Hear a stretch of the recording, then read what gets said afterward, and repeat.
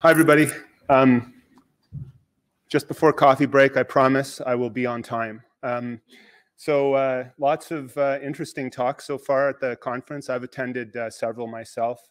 Uh, the whole AI machine learning uh, has gone pretty much over my head, but I think the take-home message that I've been getting from this is that the robots will soon be taking over in the next uh, five to 10 years. So let's hurry up and and get the research done. So um, my um, my role in uh, GenScript is to actually help uh, you um, uh, in your projects, and and if you do have protein related requirements in your projects, I have a couple of decades of experience as well as the people on on on on our team in the protein services division, and we're really more than happy to help you. So let me just uh, show you how uh, we can help you, and uh, I'll get through this. There we go. So um, I'm going to talk to you a little bit about GenScript, uh, how to uh, also how um, we can help you overcome your challenges in antibody production, uh, and also a little bit about glycosylation. Not much discussion about that. I think it's because it's pretty much a black box uh, for everybody these days. I spent my whole PhD working with glycoproteins, so I have a little bit of knowledge about that.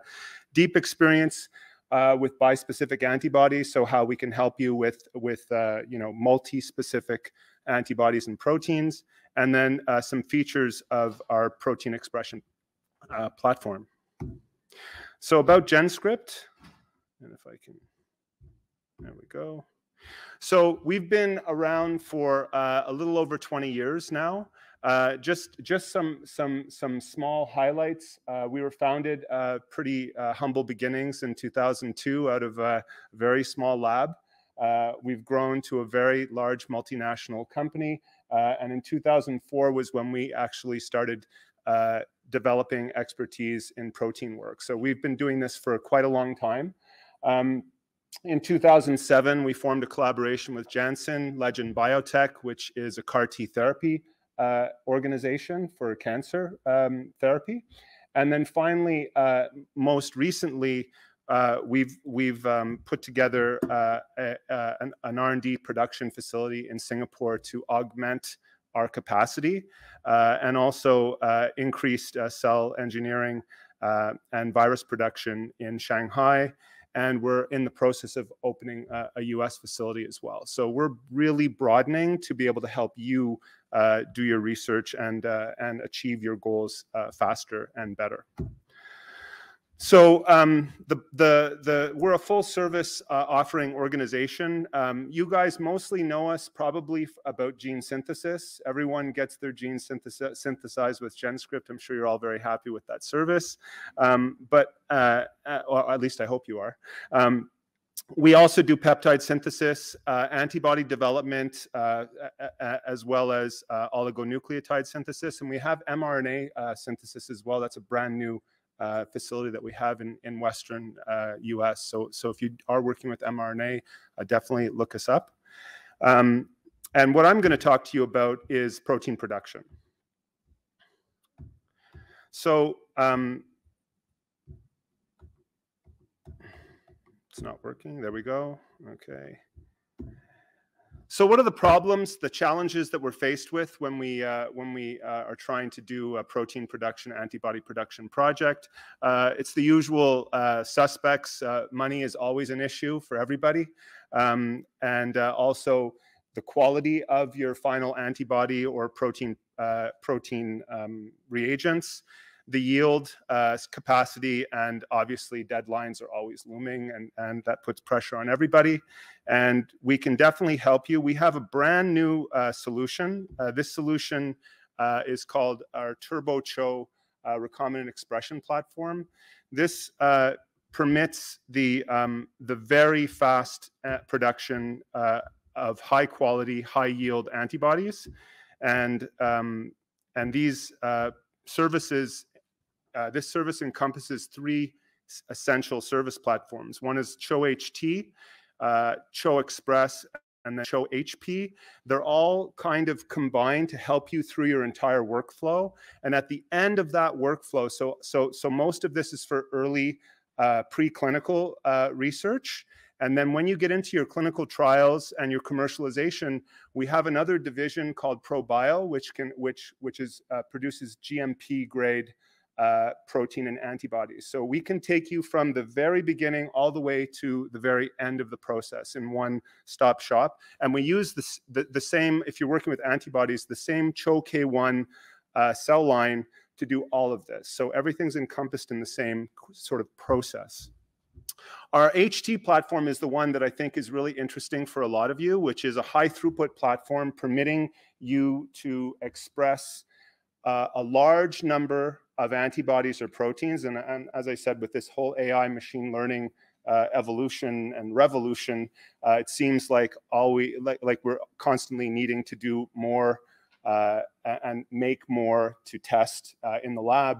And uh, this HT platform is awesome for this. So it permits you to, to, to provide us with sequences of hundreds of, of antibodies. And we can produce uh, small quantities, so so milligram, still mil low milligram quantities, so still a decent amount to do early testing, uh, but in a very short period of time, two to three weeks. So, so a very attractive uh, offering. A lot of people use this, and then that that evolves to CHO Express, which is our again a transient exp expression platform to uh, increase uh, the yield once you've selected the targets that you're interested in. Obviously, there's a process of, of, of, of evolving in the lab and, and, moving things forward down the pipeline. So we can we can work with you to do this. And this uh, CHO, tra transient expression CHO ex, uh, Express platform again is very short time frame, three to four weeks but uh, up to gram quantities of, of, uh, of, protein, which is really important for in vivo studies. I, I, see a lot of people needing a lot of protein when they get into mice and, and, and primates. And then finally, uh, the CHO-HP and stable is really when you're getting into preclinical stuff. Uh, so that would be for making stable cell lines or stable cell pools to produce a lot of antibody or protein, again, for preclinical. And then, as I mentioned to you, once you get into clinical, we can move you over to our ProBio uh, division to make GMP grade.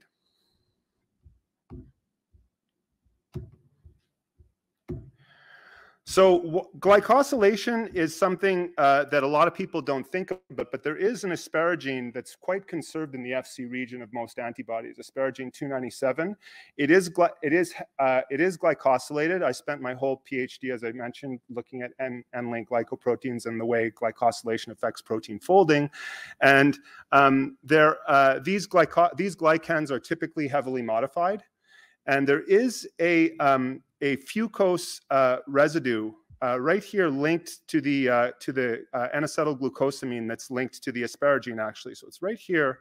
And that fucose residue has been shown to actually have um, uh, an impact on um, antibody-dependent cell-mediated uh, cytotoxicity. So if, if this is there, that is reduced. And if it's not there, it's increased. And there's a lot of papers that are actually supporting this. Uh, and there's actually some some some uh, uh, drugs that have been uh, that have been synthesized with antibodies that have had this removed to to enable increased uh, increased ADCC.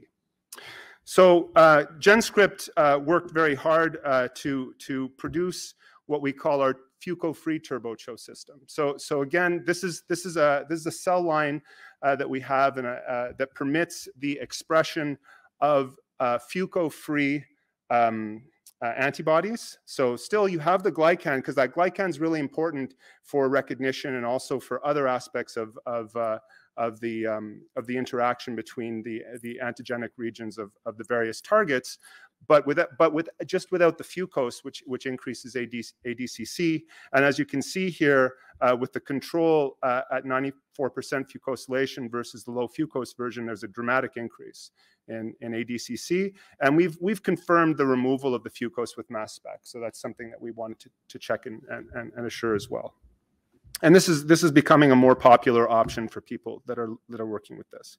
We do have deep experience with bispecific antibodies. I'm not going to go into the details of this slide. Really, uh, you you've all been at this conference, and it seems like everyone has given a talk on bispecific antibodies, so you know how popular they are and how important they are now for for uh, recruiting uh, immune system to cancer and also for payload delivery to to cancer cells. So so it's it, it's very obvious. I don't need to to to delve into this in any more detail. Uh, for with our Turbo CHO platform, um, again, bispecific antibodies is something that we that we are very familiar with and that we've been producing for quite a long time now, uh, as well as enzymes and recombinant proteins and, and other monoclonal antibodies. So these are these are just a, a, a, a small you know picture of what we what we've done, um, and then if we go to the bispecifics, this gives you an idea of the of the spectrum of bispecifics that we've that we've already produced for for uh, for clients globally, and, uh, and, just to give you a, a confidence and an idea on the deep level of experience and understanding we have, we spend a lot of time with our clients. Uh, those of you who've worked with us, you know that we that we uh, it's kind of a consultative process when we work with you to to to walk you through this process and make sure that that you understand what we're doing and that we understand what you're doing to be able to be successful. Our goal is 100% uh, to be successful with you. Um, so um, just on bispecific purification strategy, uh, as, your, as, as the last speaker uh, mentioned, and as, uh, as I will definitely tell you, assembly is always an issue with bispecific antibodies because they're, they're funky typically. Uh, so purification becomes really important. If you want to have a nice purified product at the end, typically it requires multiple purification steps. It depends uh, on, on, the, uh, on the antibody and the stability and so on.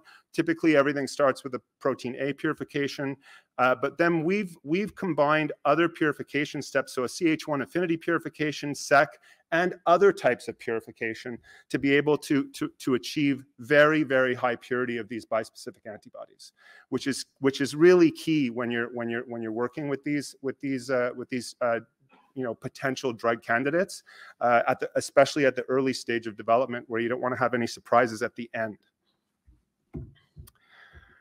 Um, and of course, some a couple of case studies, and I'm not going to go into details on this. I really just want to compare with bispecifics our, our uh, original CHO uh, cell line with Turbo CHO, just to show you that there's a dramatic increase in yield. So we, we're getting like about a fourfold increase in yield with this new Turbo CHO system, which uh, saves you both money and time uh, with this system. And we've also uh, we've also been working on um, on uh, fusion protein expression as well. So, so when we talk about fusion protein uh, expression, oops, a lot of a lot of labs are um, are now not just working with bispecific antibodies, but they're also working with uh, antibodies that contain uh, protein component as well. So kind of a bispecific or chimeric protein antibody. And, uh, and these, these are, are becoming quite interesting for labs uh, for various reasons and various applications. And, uh, and again, we have lots of expertise in producing these kinds of antibodies uh, uh, recombinantly. As I mentioned, uh, for, for these funky types of proteins, there's purification is typically the, the, the key, the critical factor here, and we're very good at this.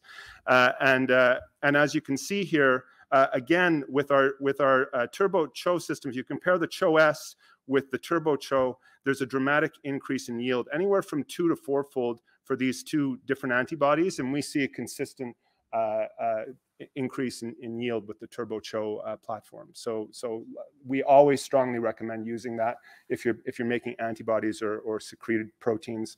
Uh, it's it's a it's a great system, and and of course it's it's recognized. CHO is a is a commonly used uh, cell line for for making uh, antibodies even at the commercial level. So just some features of GenScript's uh, platform, just to just to kind of finish off. Um, I, have spoken to you a lot about CHO um, expression, but we do also have deep uh, knowledge and expertise with E. coli and insect cells. Uh, so if you're making antigen antigenic uh, proteins or smaller proteins that you that you're trying to work with in the lab, we have deep experience, and, our E. coli platform is actually quite popular. And all three of these platforms have that HT high throughput uh, um, offering. So you can, so we can make a large number of proteins at a smaller scale for you to assess and test first before the scale-up process. Um, we, we've, we've recognized uh, uh, beyond any shadow of a doubt that, that, uh, that uh, you all need to work with a lot of proteins, uh, and you, you're all doing quite a lot of mutagenesis work uh, to be able to, to find the right fit, the right key to fit in the right keyhole per, per se. So, so if you need help here, again, it'll probably be me or my colleague that will that, that'll be answering the phone. Again, we have a lot of experience discussing this with you, and we can help you with your projects on that.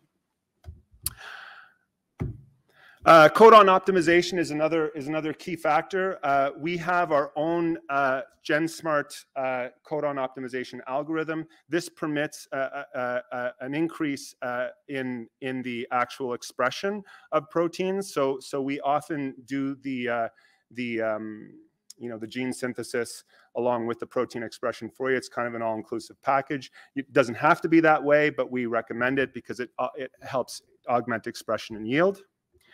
And then finally, um, just the QC tests. Uh, this is really important for anyone uh, doing doing protein expression work. We have all the, the gamut of tests, concentration, SDS page, Western blotting, endotoxin, HPLC, LCMS. Uh, we also do protein-protein interaction as well. And, uh, and of course, uh, in, in vivo, uh, in vitro functional assays, freeze thaw stability testing, etc. So if there's something extra that you need when you're trying to produce your proteins, especially as you're getting closer to commercialization or you're in those preclinical trials. Uh, this is this might be something that might be interesting for you. And then my last slide is just on the Singapore site. We're very proud of this. This this is uh, th th this site opened last year. It's it's fully ramped up, and uh, and it has uh, dramatically augmented our ability to serve uh, our clients globally as the demand for protein uh, seems to have increased dramatically. So that concludes my talk. Um, if there is a need uh, for, for, for, for this type of service, uh, by all means, just email protein at genscript.com. Uh, that email comes straight to me and my colleagues in our, in our group. And again, as I mentioned, it's an honor to be here. It's, it's an honor to watch the, the work that all of you are doing. It's, uh, phenomenal uh, the advances that are being made uh, as far as I'm concerned, and uh, we're really happy to be a part of uh, of your success. So so please do feel free to reach out to us. Thank you.